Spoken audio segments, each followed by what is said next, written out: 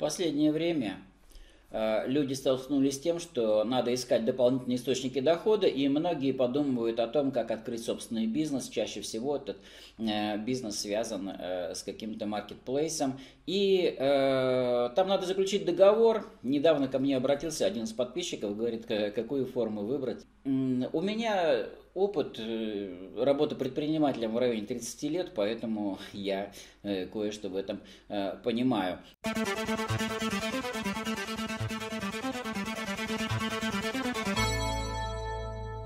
Итак, здравствуйте, друзья, здесь Демитков Юрий. А, как правило, люди выбирают, э, самая простая вещь, это ИП, а, но ИП бывает э, в двух вариантах. ИП э, с налогообложением 6% с оборота, либо, ну это упрощенно, 20% от дохода минус расходы. Подавляющее большинство выбирает 6% с оборота, и вот тот человек, который ко мне обратился, он как раз склоняется именно к этой форме. А, но Давайте э, посмотрим э, все-таки, насколько это выгодно, во-первых, сколько у вас будет э, оставаться и насколько, когда, какая форма начинает становиться выгоднее. Я не скрою, у меня сейчас открыто три э, предприятия, три юридических лица. Это у меня как раз ИП с налогообложением 6%, э, вот это самое искомое, 6% э, от оборота, одно ИП, и есть два ООО, одно ООО платит налоги НДС, второе ООО не платит НДС. Ну, эм, вот вся разница между ними. И просто эти компании как раз выполняют разные функции потому что что-то выгодно там, что-то выгодно там. Итак, смотрите. 6% а, с оборота. Все выбирают почему? Потому что все очень просто, легко посчитать 6% с оборота. Ну и бизнес очень простой получается. Вы берете э, какой-то товар, например, на Алиэкспресс, э, получаете его, накидываете 20% сверху и продаете через какой-нибудь маркетплейс, какой-нибудь Wildberries или Озон. И все, вот они, ваши 20%, 6% заплатили, и казалось бы все. А, но на самом деле э, люди начинают работать, и вдруг э, у них как-то вот через полгода где-то или через год вдруг э, начинают закрадываться сомнения, а почему же я не вижу денег, и что-то денег больше не становится, хотя я работаю как проклятый. Э, почему так происходит? Ну, смотрите, что такое 6% с оборота? Во-первых, это фикция. На самом деле нет 6% с оборота, на самом деле есть 7% с оборота, потому что 6% с оборота не превышающего 300 тысяч рублей в год. А от превышения идет уже 1% сверху от превышения. Поэтому вот эти 300 тысяч в год, ну вы сказать, ну, если не в первый же месяц, то за ближайшие три месяца точно преодолеете и будете платить уже 7% с оборота. Во-вторых, значит, вы заключаете э, с маркетплейсом э, какой-то, ну, договор, и э, вы платите маркетплейсу какие-то э, проценты от продаж. И маркетплейс будет брать с вас 5-10%, но если у вас обороты маленькие, то это будет 10%. А, и кроме того, э, э, для того, чтобы клиент мог вам легко заплатить деньги э, без геморроя, то, конечно же, вам нужно подключить интернет-эквайринг. Интернет-эквайринг вы подключаете. Если у вас маленькие обороты, то это еще 2,5% с оборота. Итого считаем 7% с оборота. Это налог на ИП, плюс 2,5% интернет-эквайринг – плюс 10%, э, э, это 9,5%, и плюс 10% э, вы платите маркетплейсу. Что остается? Значит, вы заплатили 19,5% всем кругом, все абсолютно довольны. Поверьте мне, я не раз э, сталкивался с такой ситуацией, когда я как э, руководитель компании получаю меньше всех. То есть все довольны, все работают, все такие, все говорят, все классно, Юрий Алексеевич, давай это дальше. Вот. А я смотрю, а у меня денег нет. Я говорю, не, ребята, так не пойдет. Вот. Э, поэтому вот такой вариант получается. Теперь смотрите, второй вариант. Доходы минус расходы. 20% на доходы минус расходы. Казалось бы, здесь 6%, здесь 20%. Но суммы-то разные, посмотрите. Э, да, второй вариант немножечко сложнее. Когда вы открываете ИП и вы хотите что-то купить на том же самом Алиэкспресс, что вы делаете? Вы не покупаете это дело с Алиэкспресса, там, со своей личной карточки. Вы берете и кладете эти деньги себе на ИП. Ну, это вот ну, секундное дело перевести с одной карточки на другую. У вас э, на ИП э, тут же появится э, корпоративная карточка, где она там у меня есть. Корпоративные карточки у меня на ИП. Совершенно спокойно. То есть вы с карты на карту перевели, деньги уже на ИП. И вы с ИП уже как ИП платите э, китайцам на Алиэкспресс те же самые, предположим, э, деньги. И у вас это уже расходы. Доходов еще нет. Ваши расходы уже 100 тысяч. Теперь далее. Вы получаете этот товар, накидываете те же самые 20% и э, продаете с наценкой 20%. Э, вы платите те же самые 20, 2,5% эквайринга. Вы платите маркетплейсу те же самые 10%. Теперь смотрите, э, что, какие ваши расходы. 100 тысяч покупка товара. А, если там, предположим, 100 тысяч, на каждые 100 тысяч рублей. 100 тысяч это покупка товара. А, на 120 тысяч 2,5% это получается, ну сколько там, ну 3 тысячи рублей, предположим, да? А, интернет-эквайринг 3 тысячи, 103 тысячи рублей. И плюс со 120 тысяч вы заплатите маркетплейсу 10%, 12 тысяч. Те же самые 12 тысяч вы заплатите маркетплейсу. Так же, как и в первом варианте. Здесь разницы нет. Смотрите, э, вы заплатили 100 тысяч плюс 3 тысячи плюс 12 тысяч. 115 тысяч. Э, это ваши расходы. Ваш доход, ваш приход это 120 тысяч минус ваши расходы. То есть ваша прибыль составила сколько там? В районе 5000 рублей. Берете 20% от 5000 рублей. Это 1000 рублей и платите налоговой. У вас остается 4%.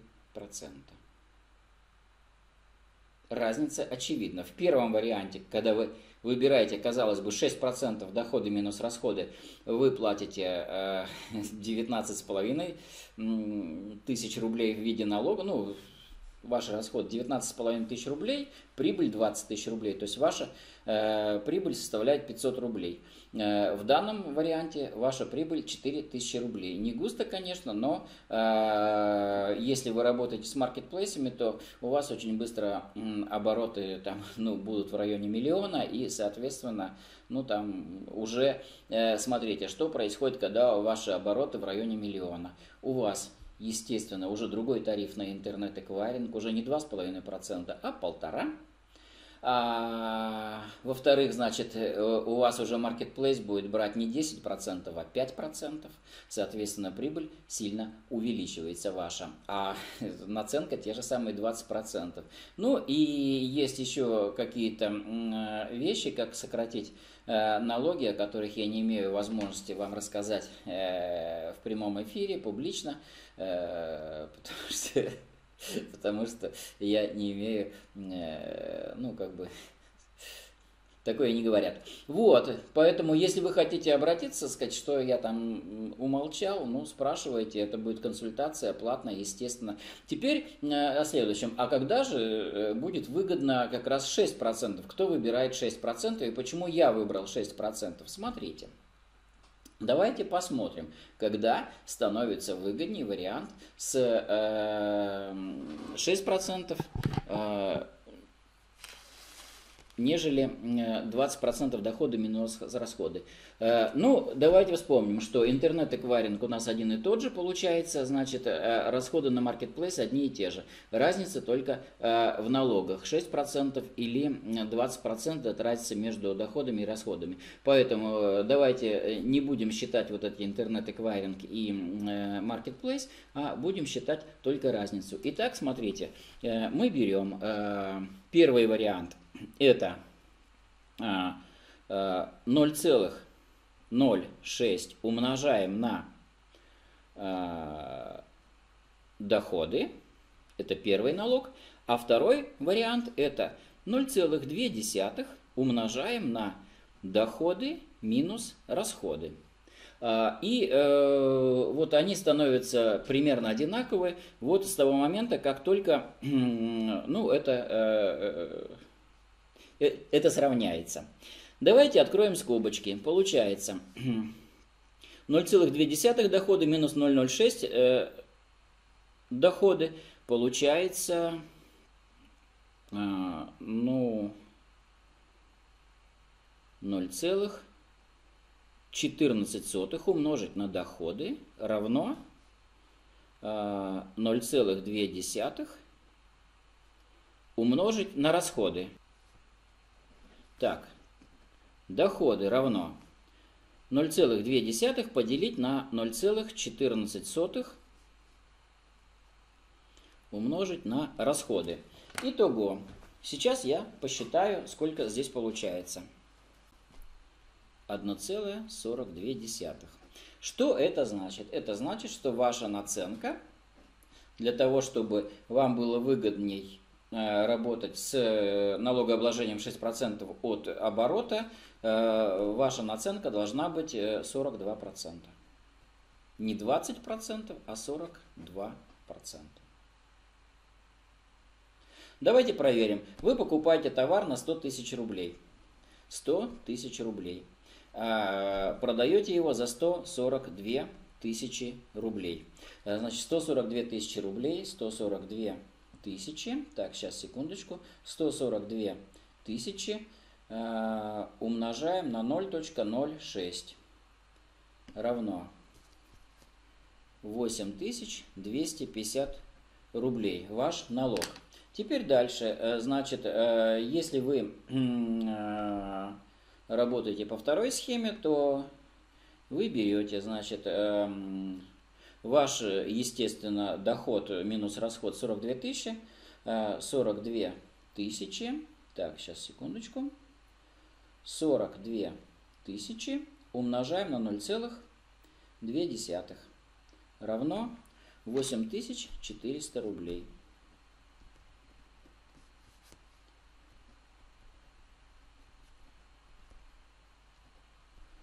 То есть э, все примерно правильно, то есть ваша наценка должна быть 42, э, 42%. Э, Если вы э, увидите, что у вас есть схема, где вы можете продавать с наценкой 42%, пожалуйста, вы можете выбирать налогообложение 6% с оборота.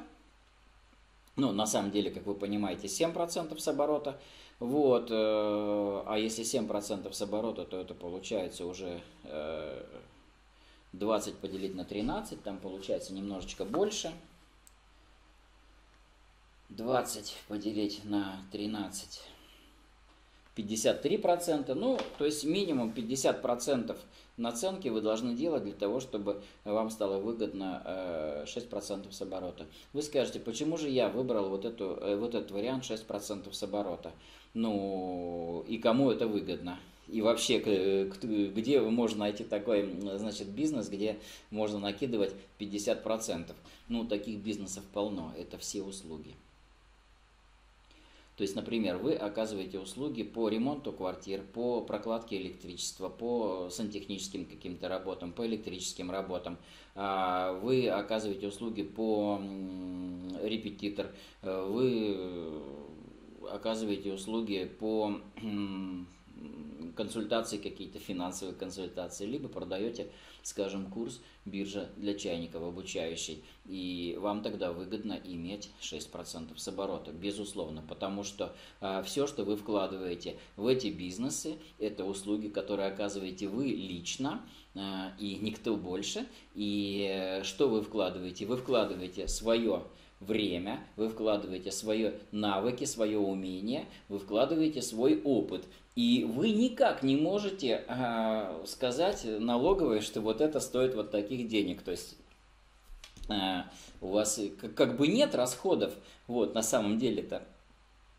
Вы продаете э, себя, свой опыт, свое время. Поэтому вот для тех, кто занимается услугами, конечно же, выгоднее вариант с 6% с оборота. Все остальные ребята, э, не пожалейте просто времени, э, это будет немножечко сложнее. Ну как сложнее? Всего одна операция вы берете, не, не, не с своей личной карточки платите, а просто своей личной карточки переводите на карточку ИП, и значит с этой карточки вы переводите деньги э, на, и, и с нее платите уже все, все, все, все расходы абсолютно, которые связаны с предприятием.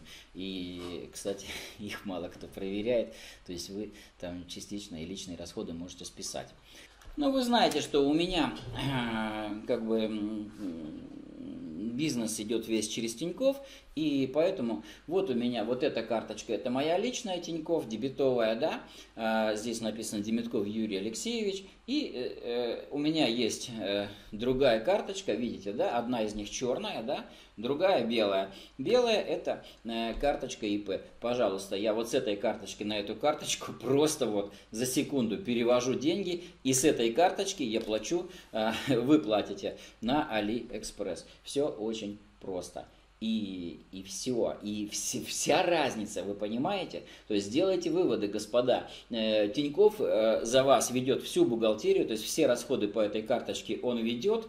Э, вы можете с этой карточки там чуть ли не продукты покупать домой, э, вот, и списывать их. Но а, когда вы а, эм, доходы минус расходы, то налоговая может у вас все-таки поинтересоваться, а, обоснованы ли эти расходы. То есть здесь не надо наглеть, то есть как бы, ну, видите, достаточно честный бизнес, то есть если вы какие-то расходы несете в связи с бизнесом, то это вот именно вот с этой карточки. Если личные расходы, то вот с этой карточки. И тогда у вас вообще никаких проблем не будет.